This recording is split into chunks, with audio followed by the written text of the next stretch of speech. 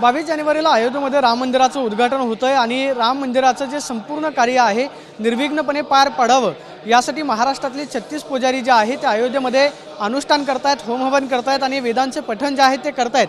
गेल्या दीड वर्षापासून अयोध्येमध्ये हा सगळा उपक्रम जो आहे तो सुरू आहे. आपण पाहतोय की या ठिकाणी हे गुरुजी जे आहेत ते वेदांचं पठण करताना पाहायला मिळत आहेत सुरुवातीला हे जे वेदांचं पठण करतायत आपण त्याच्या आधी सुरुवातीला धून ऐकूया.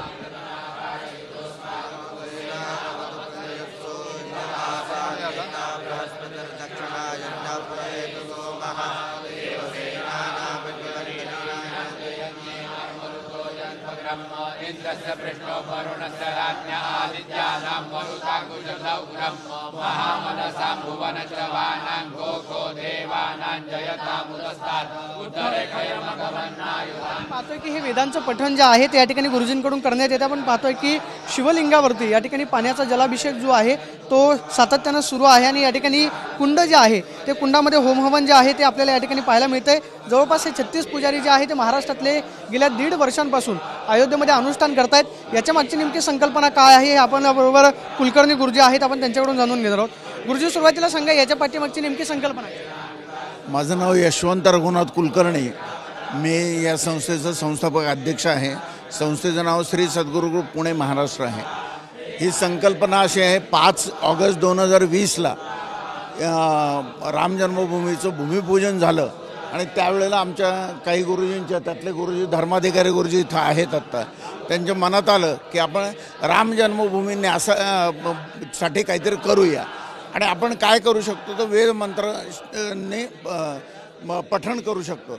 आणि मग हे सगळं ठरल्यानंतर आम्ही राम जन्मभूमी न्यासाला र- रितसर प्रस्ताव दिला आणि तो प्रस्ताव राम जन्मभूमी न्यासाने मंजूर केला आणि त्यांच्या मंजुरीपत्रानंतर हे अनुष्ठान चार नोव्हेंबर दोन हजार बावीसपासनं सुरू झालं. सगळा आनंद आनंद आहे. एवढे सगळे गुरुजी अयोध्येमध्ये अनुष्ठान करतायत संपूर्ण देशाचं लक्ष आहे. ते सौभाग्य तुम्हाला मिळते की राम मंदिर ट्रस्ट करून हा वेद मंत्रांचं पठण असेल किंवा होमहवन असेल हे करण्याचं हे हे निश्चित भाग्य आहे. महाराष्ट्राचं आहे महाराष्ट्रातले सर्व गुरुजींचं आहे. या अनुष्ठानाचं दुसरं वैशिष्ट्य असं आहे की महाराष्ट्रातल्या प्रत्येक जिल्ह्यातून पाच गुरुजी आणि पाच गुरुजी येतात. त्यापैकी दोन वैदिक आणि तीन याज्ञिक असतात. जनरली अनुष्ठानासाठी वैदिक लोकांनाच प्राधान्य दिलं जातं.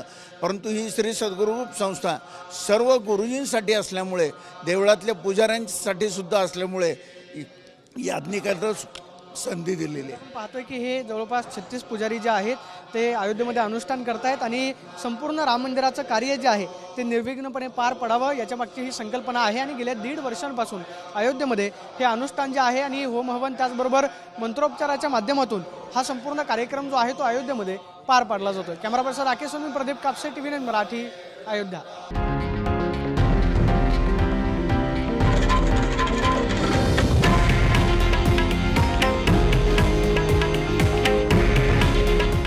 आहे देशातील नंबर वन न्यूज नेटवर्क.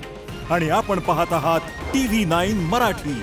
काळजी तुमची हित महाराष्ट्राचं.